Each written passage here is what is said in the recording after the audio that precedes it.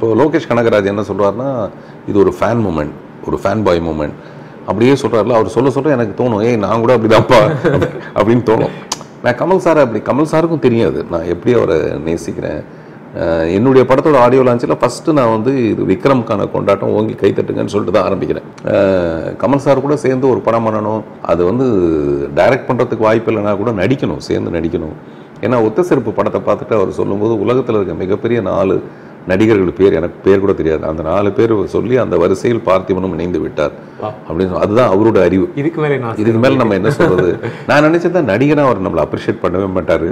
Maybe director அவன் சொல்லாமே தவிர அவரை மிஞ்சின நடிகன் இங்க அவன் இருக்கான் அப்படிதான் அவர் நினைப்பாரு. அதனால அவர் அதை சொல்ல மாட்டாரு அப்படின்னு நான் நினைச்சிருந்தேன். அவர் சொன்னது வந்து எனக்கு ஒரு பெரிய விஷயமா இருந்தது. அது வந்து ஒத்த செருப்புல. இந்த மாதிரி முயற்சிகளை வந்து டெஃபினட்டா அவர் பொறாமையோட பார்க்கணும்னு எனக்கு ஆசை. ஏய் இதை நான் பண்ணியிருக்க வேண்டிய படம் இது இன்னும் இவன் போய் பண்றான்? அப்படின்னு